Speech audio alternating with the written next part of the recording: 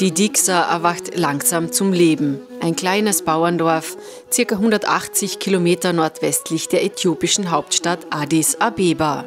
Keine Straße, keine Geschäfte, kein Strom, kein fließend Wasser. Die 204 Einwohner leben von dem, was ihnen die Erde gibt.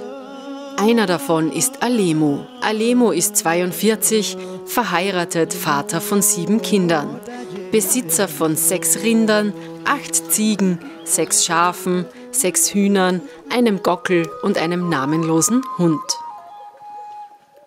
Unter dem Militärregime der 80er Jahre wurde das Land unter den Bauern aufgeteilt. Alemus einziges Einkommen kommt von zwei Hektar kargem Land, auf dem er hauptsächlich Getreide anbaut. Sieht man genauer hin, wird klar, dass der Mensch dem vermeintlichen Paradies hart zugesetzt hat. Einst ein gewaltiger und dichter Urwald voller Pflanzen, exotischer Vögel und wilder Tiere, jetzt eine gerodete und erodierte Steppe, die von Kleinbauern mit selbstgebauten Gerätschaften mühsam bewirtschaftet wird. Bis vor drei Jahren blieben ihm im Monat umgerechnet 15 Euro, um seine Familie zu ernähren. Bei neun Familienmitgliedern und Vieh ist das viel zu wenig.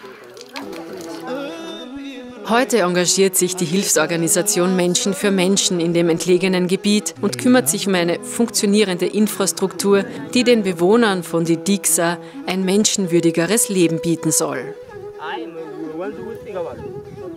Eine asphaltierte Zufahrtsstraße ist in Planung, die lokale Quelle wurde zum Brunnen ausgebaut und somit die Trinkwasserversorgung gewährleistet. Die Organisation unterstützt die Landwirte mit Setzlingen aller Art. Seitdem baut Alemo zusätzlich zu Getreide und Mais etwas Gemüse an und demnächst Kaffee. 400 Setzlinge hat er im Garten stehen. Alemo ist mittlerweile einer der angesehensten Bauern in Didixa. Er verdient nun ca. 1000 Euro im Jahr, genug um seine Familie zu ernähren und die älteste Tochter auf die Universität schicken zu können. Es bleibt sogar ein wenig Überschuss, den er auf dem Markt der nächstgelegenen Stadt weiterverkauft. Ein zweistündiger Fußmarsch über verbrannte Erde, den seine Familie glücklich in Angriff nimmt.